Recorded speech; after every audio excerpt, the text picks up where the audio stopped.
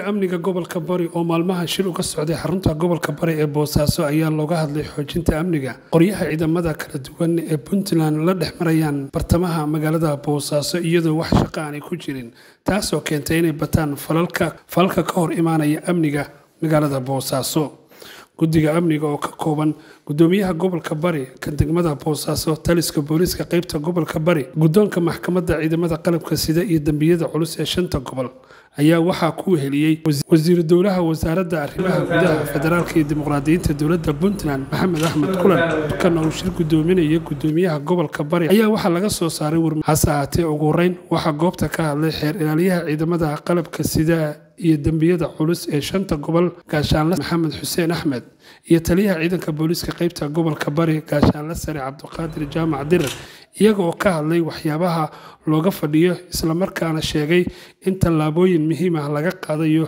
ciidankii lagu arko iyagoo la dhex maraya magaalada boosaaso xilli aanay ku jirin wax shaqaa annagu maxkamadda ciidanka ahaan iyo xafiiska xeraalinta waxaanu qeybta ciidamada aanu kaga aadannahay waxa weeye anshaxa ciidanka iyo iyo kala dambeyntooda sidaa daraaddeed waxaan faraynaa dhammaan ciidamada jooga gobolka bari iyo saraakiishoodaba inay xakameeyaan dhaqdhaqaaqa ciidanka si loo sugo amniga. Waxaan faraynaa in ciidamada aan shaqada ku jirin ay goobahooda ku ekaadaan.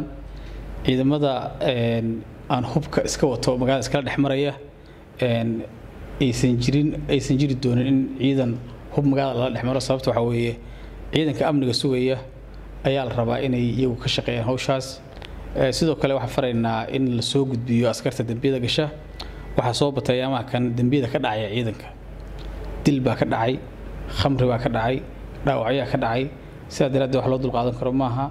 Dowladnimadana ciidanka waxa hubka loogu dhibay waxa weye inay shacabka ku ilaaliyaan. Waxyaalaha laga wada hadlay oo u baahan yihiin bulshada in looga shaqeeyo inta ugu waaweyn afar qodob baa loo arkay inay caqabad ku tahay bulshada iyo deegaanka iyo gobolka. Qodobka koowaad argagixisada oo muddooyinkii dhawaad dhaweyd aan wax ka dhicin laba habeen hadda waxaa dhacay qaraxyo yaryar oo u baahan in si fiican looga howlgalo tallaabo adagna laga qaado. Waxaa kaloo jira qodobka ku xiga ahi oo labaad mukhaadaraad ku lug leh yunidyada amniga ciidamada qaybaheeda kala duwan oo ah mukhaadaraad ku dhex jira magaalada oo dad qaybtii ay ku dhinteen ama khasaare ama dhib lagu geystay ama xabad ay u dhacaan. Qodobka saddexaad waxa weeye rooberiga dadka moobeelada iyo furtaha waxyaalaha la midka ah.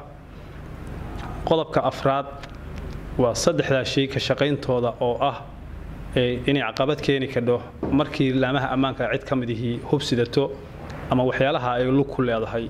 Qodobkaasi gaar wuxuu taabanaya laamaha ammaanka oo siyaalaha sharci darrada iyagoo aan shaqo ku jirin iyagoo hubkii wataa magaalada ku dhex jira oo mararka qaybtood la sheego in qoryo mobile lagu furtay. Marka marka waxaa la odhan karaa markii ciidankiina qoryo si sharci darraa magaalada ugula jiraan shacabkiina qori wax lagaga furto. Waxaa la odhanayaa laamaha ammaankay ka tirsan yihiin. Marka qof walba si uusan si aan loogu eedayn waxaa muhiim ah in uu xakameeyo yunid walba cidda ay xukunta inay xakamayso.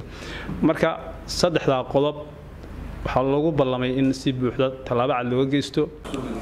Gudoomiyaha degmada boosaaso cabdiqani axmed ismaaciil deeradire oo isaguna goobta ka hadlay ayaa sheegay in magaalada boosaaso amnigeeda iyo horumarkeeda looga shaqayn karo.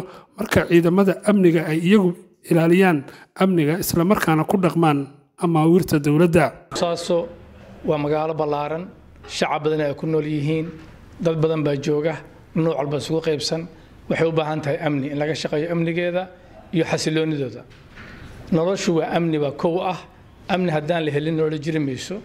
In marka amniga laga shaqeeyo oo dowladdu oo dhammaystirana ay go'aamo ka soo saarto waxay sahlaysaa dadkii inay xasilooni iyo deganaansho ay helaan. Dhammaan ciidamada dowladda puntland gaar ahaan gobolka bari jooga waa ciidamo tiro badan.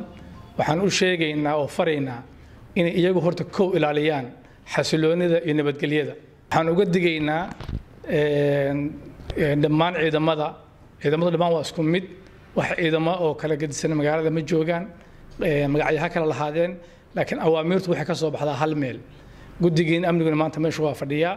Waxaan uga digaynaa awaamiir badan oo ay ka mid tahay in ay ciidamadu xilliyada aanay shaqada ku jirin ay ku dhex qaataan hubkooda magaalo dhexdeeda.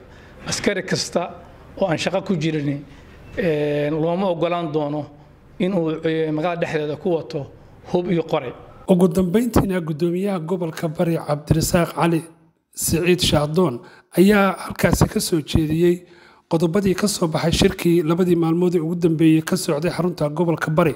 Shir nooga socday xarunta gobolka guddiga amniga gobolka oo laba maalmood qaatay wax noo soo gabagaboobay maantay.